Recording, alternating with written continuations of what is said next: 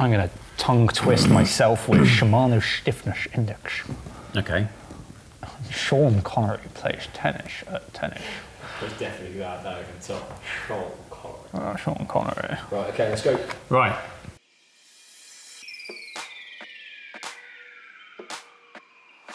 Hello and welcome to Road CC and welcome to Shiny Stuff where we take a look at stuff that has come into the office and the magpies that we are, we've kind of thought, oh, Doesn't necessarily have to be shiny. No, but it can most be things matte are. carbon Yeah. as well. Uh, this is shiny. This is a new thing that's come in. This is the Thorn Club Tour Mark V. It's incredibly large. I don't think I'll be getting on there, will I? You probably live in one of those tyres, Yes. being the tiny person that you are.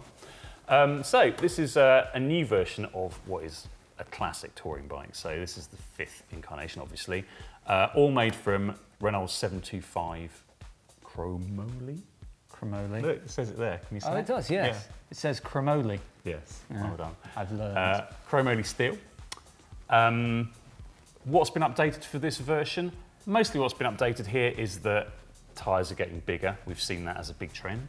So this bike now, Thorn says that it can take up to a 40 mil 700C tyre or up to a 54 mil 650B tyre.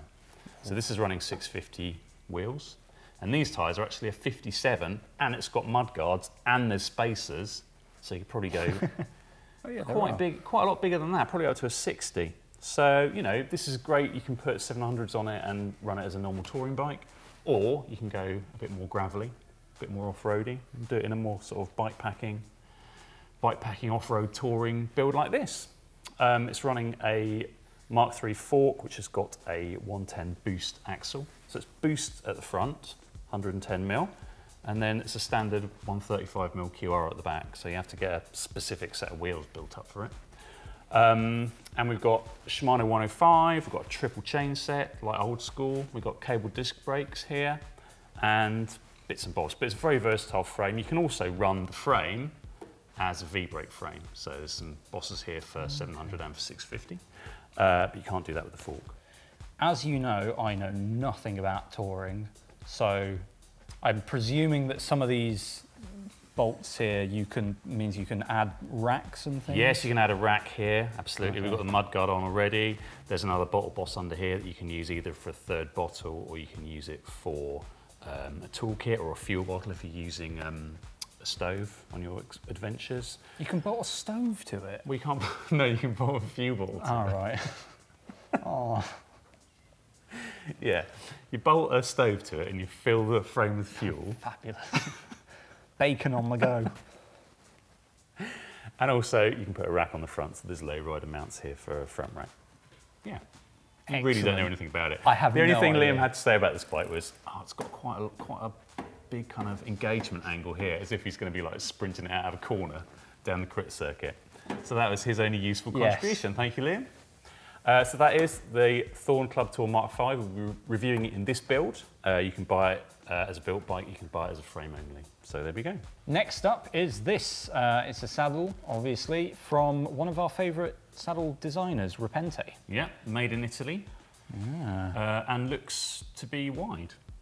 Funnily enough, it's not actually wider than, say, a standard saddle. So that's 142 millimeters wide, which is pretty much a standard width for That's saddles. the wide width if you get two widths normally, isn't it? It is, yes. two. Yeah. Okay.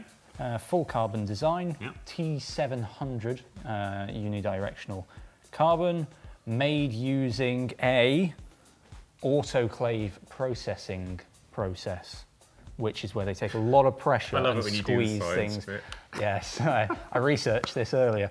Take a lot of pressure, squeeze it together, and apparently it creates a more uniform uh, carbon, and that allows the carbon to work better. Looks very nice. We've had a lot of, well, not a lot, a few Repente saddles Mm. in, most of their range actually, uh, to review. We've liked them.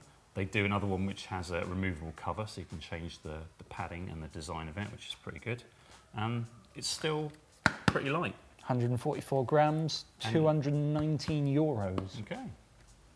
So we'll be getting that on a bike soon. Yeah. good.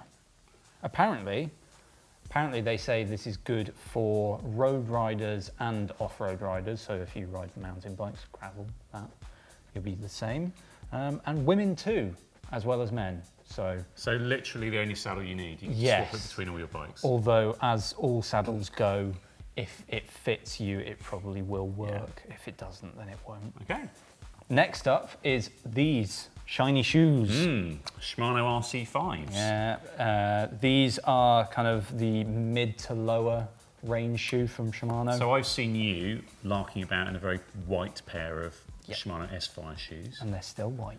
Thank you. And they are much. RC9s? They right? are, yes. So this is R, and then there's an RC7, which Yep. I've got a pair of, which are very good. And then there's these, which are an RC5.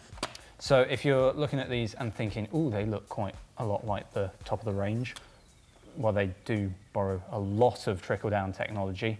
Uh, that is a synthetic upper, uh, BOA L6 style. So you do get the micro adjustment on the tightening bit, but it's a full release for opening, Okay, and you get a Velcro strap at the bottom there. cool. And not a full carbon sole, obviously, at this price. Carbon reinforced nylon. Okay. So stiff enough, 8 out of 12 on the Shimano Stiffness And the Shimano Arbitrary Stiffness yes, Index. Yeah. Who knows Brilliant. what that means? Uh, vented at the bottom there for a bit of extra Yeah. airflow. And 129.99. And they come in blue, white, and black. So Yeah, they're good. they look like they could be really, really good value, Yeah. especially for kind of enthusiasts, weekend racers, just generally good shoe, Yeah. hopefully. Brilliant. I've got some Mari. No, I haven't got marigolds. I've got some Velotoze gloves. So you'll know Velotoze, the kind of balloons that you can put over your shoes for really wet weather. Is that their they- marketing spiel you're reading out there? Yes, I'm sure it is. they work amazingly. You might get slightly sweaty feet, and they can be tad difficult to get on if you don't watch the instructional video, but they're fabulous. And now they got I gloves. enjoy your understatement, Liam. Good. So, if you list your activities and hobbies as cycling and also washing up and murdering, these are the gloves for you, looks like. Oh, these, uh, the, I don't know where to go from there. These are waterproof and windproof. Um, rate them to minus five if it's cold and dry, or plus to kind of plus 15 if it's dropping that, if it's warm-ish and also raining. okay. So I'm not sure where the balance point will be, but it looks like they'll pr- be pretty good for the early season races, which I have been suffering in this month. So, I really like a neoprene glove. Mm. Uh, I find them to be good, like really warm. They, they stink, obviously, Yeah. but you know, that's by the by. But what they're not is windproof, generally speaking. Yes. So these ones are windproof. Yes, They've got a, a kind of rubber, a rubber coating on. Yeah. Which also presumably makes them fully waterproof, whereas neoprene's not normally. Yes, the neoprene gloves usually just collect the water and make you warm and quite wrinkly. But these, that surface feels actually quite grippy. So the palm might be a bit more grippy on shifter hoods, mm-hmm. on brakes as well. There's only one way to find out, and that's to send you out into the wilds, into the next storm, whatever that might be. What Probably, up to? K? I don't know. It, it's in. I'm racing in Wales on the weekend, so It will definitely rain. It will definitely rain. Brilliant. 100% guarantee. These are 49 pounds. Okay. So not too cheap, but if you're going to be doing some racing and if you suffer from cold hands in the wet especially, they might be the absolute dream.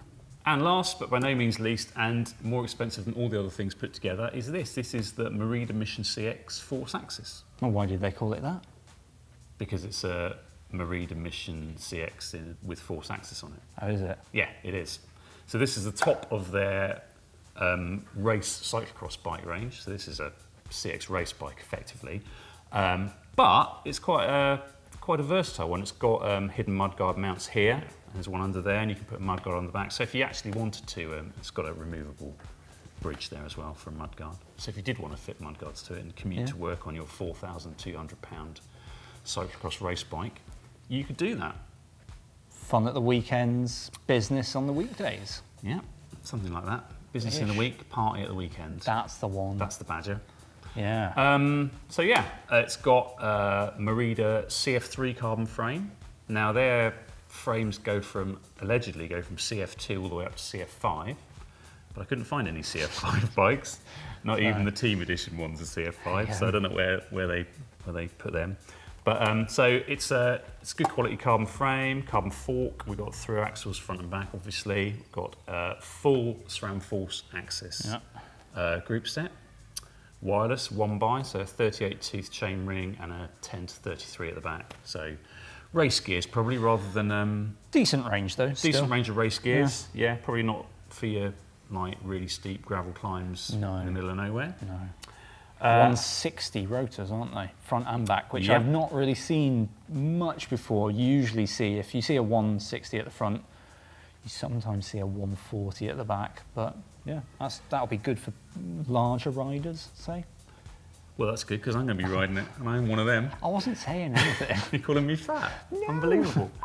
So this is ready to race, straight out of the box. I Yeah. mean, straight out of the box and onto the scales. This bike in a large, 7.95 kilos, that's good.